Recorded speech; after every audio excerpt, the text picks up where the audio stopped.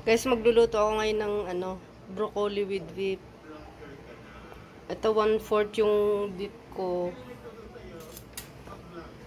One-fourth na beef, tapos anim na butil na bawang at saka yung malaking sibuyas. Ganyan po ako maghiwa ng sibuyas na puti kasi masarap siya matamis. Isang perasong broccoli. Yan. Yan po yung lulutuin ko. Igisa na po natin yung beef. Palalambutin natin siya para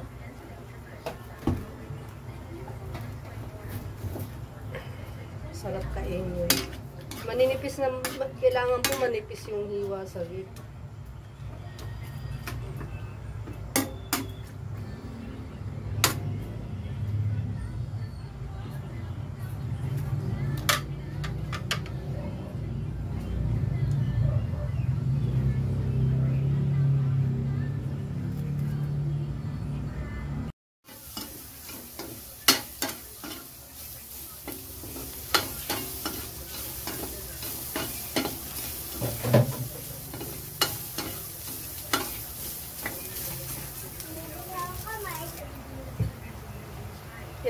Palalambutin po natin yung beef.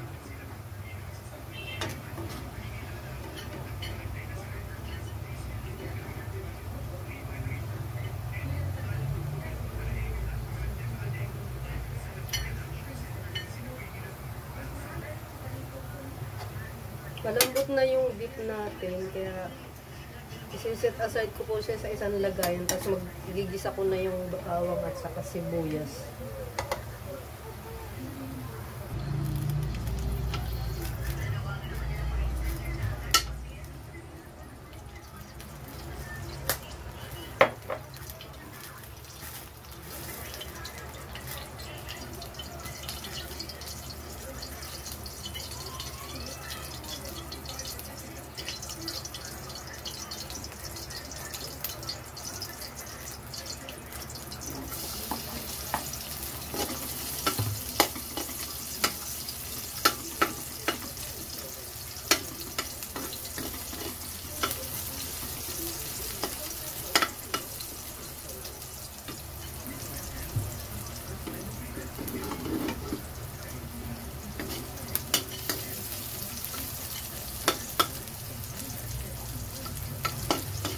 Antayin lang po natin maging brown ng konti yung ano, yung, yung bawang.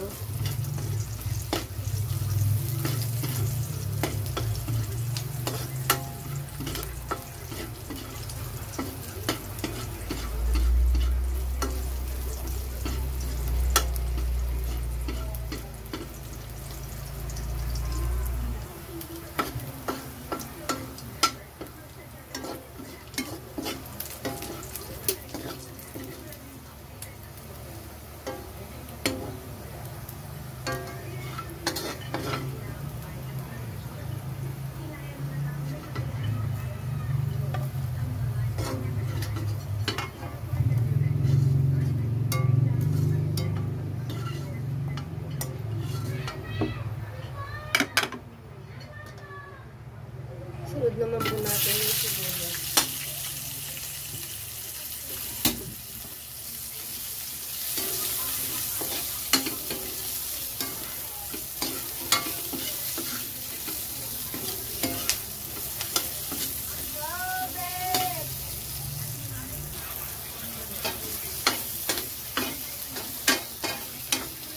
Pag nakita po natin hiwa-hiwalay na yung sibuyas, Ibig sabihin po niyan, luto na. Ready na siyang hanguin.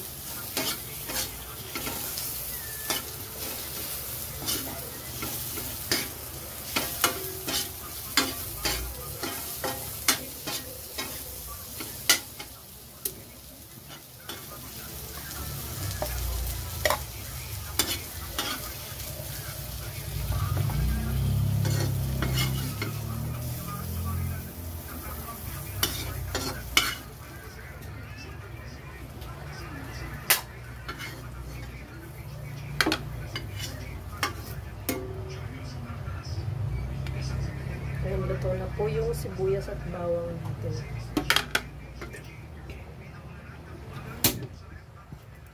Lalayo po ulit tong beef.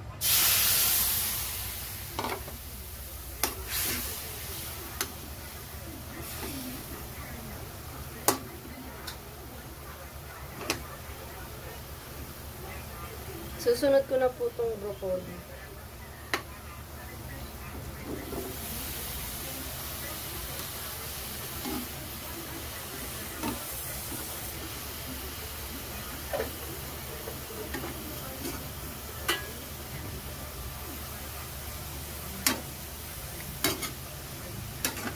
Pag malapit na po siyang maluto, lalagyan ko po siya ng cornstarch.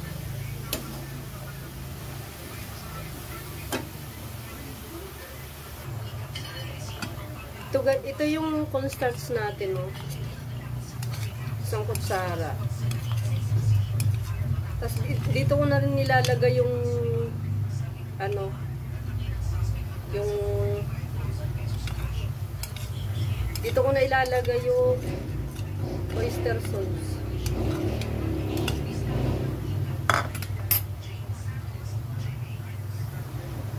Ito siya guys. Oh. Ay, balik. Ito.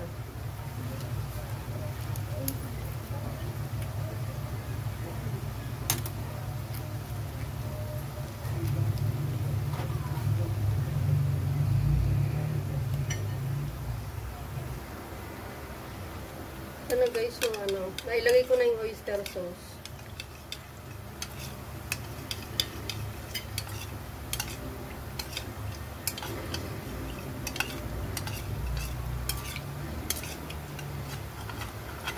Kapag na-mix na natin ng husto, pwede na siyang ilagay.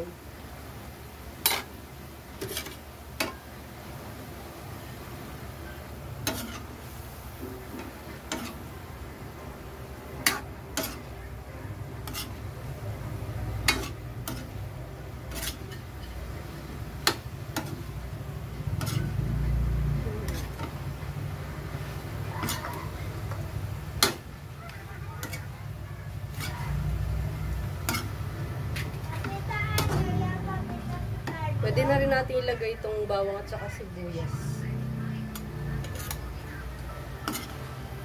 Mm, sarap po nito guys.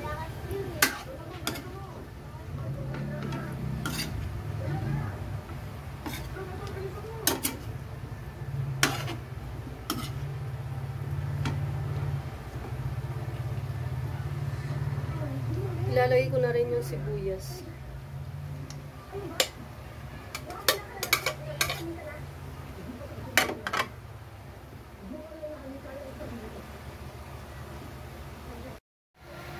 Yan guys, luto na yung broccoli with beef natin.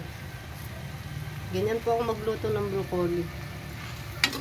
Saglit lang yan kasi madali siyang maluto. Thank you sa panonood guys. Kahit tayo.